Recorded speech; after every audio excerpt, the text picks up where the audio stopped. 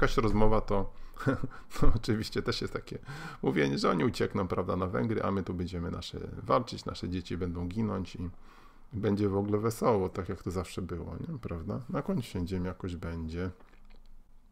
Jak to było? No właśnie, i to by było na dzisiaj e, na tyle. E, be prepared, e, bądź optymistą i zaciśnij pasa, tak? Nie zaciśnij pasa, tylko zaciśnij zęby, jak mówił sławny, jak mawia sławny Adrian Długopis, zaciśnij pasa, zaciśnij zęby. Be prepared mimo wszystko. I to by było na tyle. Do usłyszenia, zobaczenia wkrótce. Bye, bye, bye, bye. bye.